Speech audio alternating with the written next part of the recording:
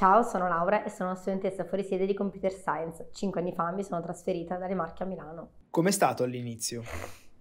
Per me è la prima volta che vivo da sola e all'inizio è stato, è stato davvero difficile coniugare le nuove responsabilità con gli impegni universitari, ma penso che sia normale. E com'è andata dopo cinque anni? Ho trovato la comunità informatica un ambiente molto accogliente e inclusivo a livello didattico e l'eterogeneità delle classi mi ha sicuramente aiutato a trovare persone che potessero essere a me più affini. Sento di essere pronta ad essere inserita in qualsiasi contesto. Che consiglio daresti? Sicuramente di farlo, eh, cercare di conoscere più persone possibili, partecipare a attività, non so, organizzare gruppi di studio, eh, non dimenticarti che alla fine ci sono molte persone nella tua stessa situazione che magari si sentono sole e ricordati di studiare.